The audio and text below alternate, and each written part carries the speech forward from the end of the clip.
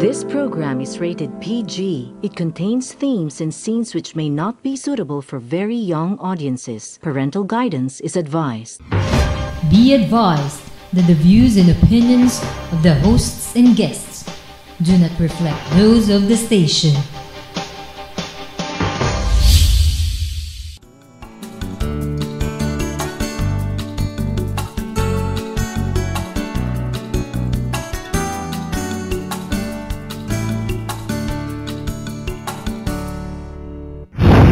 Magandang gabi.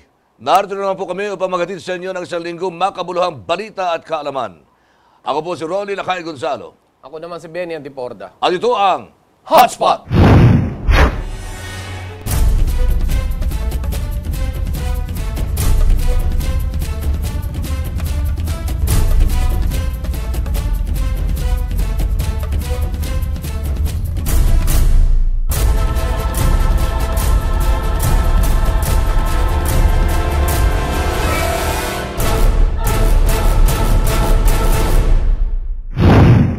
Narito na ang mga may init na balita hatid sa atin ng Robust at ng Remate, ang dyaryo ng masa.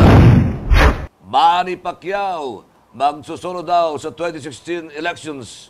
Kinumpirma na ni Sarangani Congressman Manny Pacquiao ang pagtakbo nito bilang senador sa 2016 elections. Bagamat nagpahayag na ito ng kanyang intensyon sa pagtakbo, ay hindi naman ito sinabi kung saan partido siya aanib. At kung maalala, sinabi ng Liberal Party na kanilang kinukonsidera si Pacquiao na kasama sa kanilang senatorial lineup. Habang si Vice President Judge Marbinay naman ng United National Alliance ay walang kinukumpirma kung kasama nga sa kanyang senatorial lineup ang kapartidong si Pacquiao. Well, kagabi, pinakalinis kagabi eh. Parang kay Duterte si Pacquiao ah, Pangulo. Eh, yun, yun, ang, yun ang nakikita natin. At ah, yun ang ah, kuro-kuro. At talagang ah, apakarami na talagang gustong patakbuhin si Duterte. ah, kahit na hindi pa nagdedeklara. At ah, syempre, ta- pumasok na rin Oo si ah, Vice President Bongbong Marcos. Oo. hindi na. Kahap- Kahapon nga pala. Kahapon, ah, kahapon, ano, ba? oo, oo. At ah, nagdeklara na. Sinuportahan pa Sino? ni ah, Manila Mayor at dating Pangulong ah, Erap Estrada. Aba, ano yan. kayang, ah, ano kaya ibig sabihin yan? Grabe galawan nagugulo. ito. Ah, ano, ah, ibang galawan ito. Yes, yes, Ah, yes. Kaya't ah, unti-unti na talagang ah, nagiging ah, makulay Mhm. at ah, ah, yung makabuluhan kasi magkakaroon ng chance ng tao mamili talaga ng tamang leader nila. Okay? Siyempre, kasama na rin tayo ron. Siyempre. Ikaw ba'y nakapagparehistro na? Oo naman. Ito po'y paalala sa ating mga viewers na tayo po'y magparehistro na. Ha? Ah, hindi po makakaboto ang mga hindi magpaparehistro ngayon. Dahil Tama. po yung lumang rehistro nyo, eh hindi na po masasama. At Kaya, saka, ah, sinasabi natin madalas, wala kayong karapatang magkomentaryo, wala kayong karapatang magbibigay ng anumang ah, assessment kung hindi kayo bumoto. yun. Dapat buboto kayo. Yun, Ha? dapat bumoto kayo. Dahil siyempre para naman marinig. Alam mo, hindi sinasabi, wala, isang boto lang yan. Ah. Yung isang boto nyo po ay napakilaking bagay sa Tama. taong bayan. Tama. Yan po ang kinabukasan ng buong bayan. Kaya huwag nyong i- sa walang bahala yung isang boto nyo. Okay, dito po tayo sa ating susunod na balita. Dagdag sahod sa mga guro, isinusulong. Isinusulong ni Senator Sani Angara ang mabilis na pagpasa ng panukalang batas na magtataas sa sweldo ng mga pampublikong guro sa elementarya at high school. Layo ng Senate Bill 61 na itaas ang minimum salary grade level ng mga guro mula sa kasalukuyang buwan ng sahod na 18,549 hanggang sa 33,859. Inihain dito ng uh, isang panukala na magkakaloob ng grants at scholarship with return of service agreements to academic and non-academic personnel upang maitaas ang kanilang kwalifikasyon sa pamamagitan ng masteral, doctoral o postgraduate studies. Mahalaga niya na i-return ang uh, i-retraining ang mga guro upang uh, maabot ang instructional aptitude na kailangan sa pagtuturo sa bagong curriculum para sa ilalim ng K-12 program. Eh, kinokontra niya niya ni uh, uh, Sunny Trillanes. Pero si Sunny Angara naman, eh, wala na tayong magagawa. Suportahan na lang natin at kailangan gawing nating magaling ang ating mga guro. Tama. At saka napapanahon yan na ang Pangulo kasi tagal-tagal na nila humihingi ng increase. No? Eh, alam natin ang sakripisyo na ginagawa ng mga teachers. Yes. No? Lahat ng mga, sabi nga, lahat ng mga professional Marami na tayong mga doktor, mga abogado, ah, kung ano-ano mga pro- profesyon. Ang Pero lahat pinagmulan na yan, teacher. mga teachers. Yes, Yan. Kaya sa saludo tayo sa mga yan. teacher. Oo, kaya, kaya, kaya Dapat ta- ah. tama lang din tong galaw ni ah, Senator Angara na ito dahil ah, eto na, yung ah, tamang oras. Paano naman mapansin natin? Abay, hindi yung, ah, kita mo, sa sundalo, sa pulis, medyo nagkaroon na ng galawan sa sweldo, tama, pero sa tama. teacher, oh, malayo-layo pa. Oh, at saka, speak of teachers, at saka ah, iba pang mga professional, siguro, dapat isunod na dito yung mga nurses naman, Pangulo. Oo, oo. Alam mo mga nurses, mga government nurses. Naglalayasan na sa Pilipinas. Oh, wala pang 10,000 na sweldo. Isipin mo, ang mahal ng ginasto sa pagpapaaral. Pero kakapinagot ng kanila sweldo after uh, puro uh, abroad graduation. ang inisip. Yes. At na, eto, matitindi ito balita ito. Kaugnayan ni ex-Vice Mayor Mercado sa Reyes Brothers, iimbestigahan na. Nakahanda si dating Makati Vice Mayor Ernesto Mercado para magpaimbestiga sa mga otoridad ukol sa akusasyon na siya umano ang nasa likod na naging pagtatago ng tinaguriang Reyes Brothers o sina dating Palawan Governor Joel Reyes at ang kapatid nito si dating Coron Palawan Mayor Mario Reyes Jr. Ang pahayag ay kasunod ng bintang ni Whistleblower Association of the Philippines President Sandra Cam na si Mercado ay nakikipag-ugnayan sa mga dating wanted na akusado sa pagpatay sa environmentalist na si Jerry Ortega. Si Mercado ay bawal gumamit ng cellphone dahil nasa ilalim na ito ngayon ng Witness Protection Program dahil sa pagtestigo laban sa mga kaso ni Vice President Judge Omar Binay. Paglilinaw ni Mercado, huli niya nakausap ang magkapatid na Reyes noong nasa Pilipinas pa ang mga ito bago nagtago sa Thailand. Bagamat aminado itong malapit niya kaibigan, ang magkapatid na Reyes, hindi naman siya gumawa ng anumang aksyon para sa pagtatago ng mga ito. Alam mo, lakay itong ah, istoryang ito, personal. Ha? Inanap natin yung ah, pwede nating ah, linya para makausap si Vice Mayor Mercado. Pero sinasabi niya ganito naman. Inaamin niya na kaibigan niya ang Reyes Brothers. Ah, pero ang sabi niya, kung mapapatunayan ni Sandra Cam, yung sinasabi niya, na nag-uusap nga naman si Vice Mayor Mercado at ang mga Reyes Brothers, nung sila ay nasa Phuket, abay ilabas niya yung ebidensya dahil ah, handa raw si Vice Mayor Mercado sa lahat ng mangyayari. Ha? Makulong man siya o ano pa man na kung sakaling mapatunayan dahil ah, hindi niya talaga nakakausap ang Reyes Brothers. Pero bilang isang kaibigan, alam mo, uso kasi dito sa Pilipinas yan eh. Oo. Kapag yung kaibigan mo nasabit na sa kaso, abay, di ko kilala yan. Hindi raw po siya ganyan. Hanggang ngayon, inaamin niyang kaibigan niya ang Reyes Brothers. Ha? May Ah. may resort yata si si eh, Mercado sa Coron, parang gano'n yata. ang- Hindi, sa Coron. Ah, Oh, sa Palawan, yeah, pero oo, oo oo. nga, talagang inaamin niya naman na Oo. kaibigan niya yung ah, Yes, yes, magkapatid. Pero ang sinasabi niya nga rito, eh, walang katotohanan yung ah, paratang daw ni Sandra Cam. Pero Oo. ang may katotohanan daw, eh, noong mayor daw si ah, Binay, ah, si uh, Jejo Marbinay dito sa Makati, Oo. at Vice Mayor daw si ah, Mercado, Hmm. eh, napakadalas daw sa tanggapan ni Mayor Binay nitong si Sandra Cam. Sa tanggapan, ha? Oh, sa tanggapan. Ano ba sa sa punong tanggapan? tanggapan ng alkalde ng Makati ng mga panahon na yon. Okay. Ah, Di ba? tanggapan. Teka Oo. muna, Pero, hindi kaya, ano, hindi kaya in aid of uh, election naman itong ginagawa ni Sandra Cam na ito? abay, hindi natin alam yan. Pero Hindi, isa lang ang masisiguro natin Nag-party dito. list kasi. Ay, sige, isa lang masisiguro natin dito. Ah. Ha?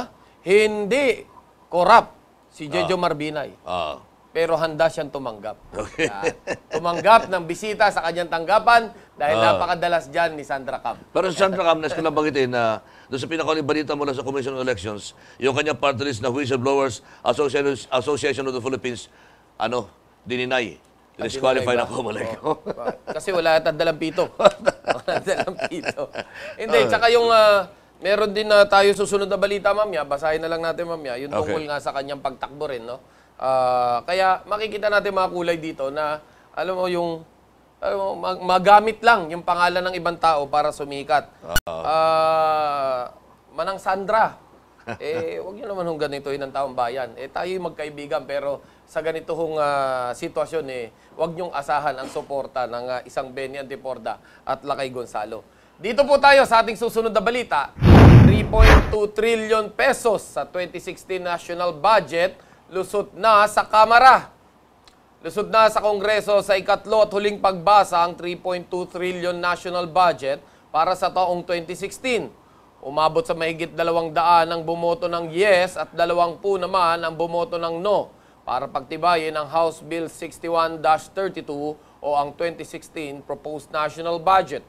Mas mataas ng 15.2% ang budget sa susunod na taon kumpara sa budget ngayong taon o nasa 2.6 trillion. Inilaan ang ah, pinakamalaking budget sa social at economic services, general, ah, general public services at defense. Samantala, iginiit pa rin ni Bayan Muna Representative Nery Colmenares na may lump sum pa rin ang 2016 national budget na aabot sa 758 billion. Sa madaling salita, may pork barrel pa rin Oo po. nga. Pinag, Yan. pinag, ano, Oh. talagang ah, inihabol Oo. bago mag-recess. Ginawa na naman pong tanga ang taong bayan. Ayan. Ginawa na naman tanga ang taong bayan. Ah, di, a- ano kwenta nitong uh, idinidemanda ng matuwid yung daan, ah, Pangulong Noynoy at ah, Speaker Belmonte, ah, ah, matuwid po ba ang daan na ito kung ah, ganyan pong ginagawa nyo at ah, sinisingitan nyo ng ah, pork barrel na hindi naman kailangan. Alam mo, ang inaasahan natin eh, bababa ang budget ngayong taong ito dahil ah, nawala nga ang pork barrel. At ah, sinasabi naman sa Korte Suprema na yan ay illegal. Oo nga. Okay? Pero ginawa nyo na naman ng ibang pangalan. Yes. Napakakapal po ng mukha nyo. Ah, kami po bilang mamamayan at nagbabayad ng aming tamang buwis ay gigil na gigil at kumukulo ang bulate sa galit po sa inyo. Wala na siguro iba pang pangalan na magagamit, ano? Ah, lump sum na yung pinakauli. Mm. Oo, lump Kasi yung lump sum nung araw, ginagamit na yan eh. Eh ngayon, wala na magamit na ibang pangalan, kaya binalikan yung lump sum. Mm-hmm. Okay? Dito tayo sa pinakauling malaking balita sa ah, linggo ito. Sandra Cam, well, na talakay na namin kanina, na pansamantala, o initially, Sandra Cam, tatakbong senador. Ipinahayag ng presidente ng Whistleblowers Association of the Philippines, Sandra Cam, na tatakbo raw siya bilang senador sa 2016 elections, kasabay naman ang kanyang ika-55 kaarawan. Kagabi, aba, may paniwala siya para sa feng shui. Ha? Ay kay Cam, aabot din ng dalawang buwan bago ito nakapagpasya na tumakbo bilang senador. Tatakbo ito bilang senador kahit wala siyang pera, pero nangako ng tunay na serbisyo sa kaling palaring mapasama sa mga mananalo senador. Sa tingin ba Ah, mananalo? eh, mukhang hanggang pangarap na na yata. Raw si. Cam sa ilalim ng una, United Nationalist Alliance ni Vice President Judge Binay at magsusubiti ng Certificate of Candidacy sa uling araw ng filing sa Oktubre 16. Dalawa pa lang yung nakikita ko kay Binay. Ah. So, si eto na. Alma Moreno Oo. at saka si Sandra Cam. Nakita na natin yung kulay ngayon. Oh. Kaya inuupakan si Bay sa merkado. Oo. Eh, yun pala. Ah, accommodated pala siya sa una. Di ba? Eh, naway wag naman po kayo maging huli. Yun na lang ho ang panalangin namin dito. Dahil ah, simple lang, yung pong mga aligasyon tungkol sa korupsyon, eh, paliwanag muna, eh, kayo, mga whistleblowers, paano kayo magiging whistleblower? Eh, yung meron ng aligasyon sa korupsyon, eh, ayaw mag-blow ng kanyang whistle. Kayo pang kapartido niya. Abay, ang gulo ho nun. Di ba? Whistleblower ka, kasama mo yung ah, ayaw magpaliwanag. At saka mukhang marami talaga mga nagising dyan sa issue na yan. Mm-hmm. Kasi hanggang ngayon nga, ni wala kang makuha ang Vice President si uh, VP Binay. Yes. Ni wala ring uh, kahit anim na maipuporma man lang na mga senador sa, sa kanyang senatorial lineup. Mukhang matindi. Matindi. Ah, Tsaka naging makita mo yung slide down ng Oo kanyang ah, Oo. survey, no? Ah, kung kaya't ah, marami na yung ah, tinatawag na lipat bahay. Oo, Oh, tama. Lipat bahay. Lipat bayo, LP, lipat partido. Lipat partido. Oo. Di ba? Mm. Eh, yung LP, ano, daming naging pangalan ng LP ngayon, Oo ha? Di ba? Pati yung sasayaw. Oo, yung ah, lapi ang patuwad, di ba? Doon naman sa Wangbo, lapi ang partihan, di ba? lahat ng ano meron eh, di ba? Okay.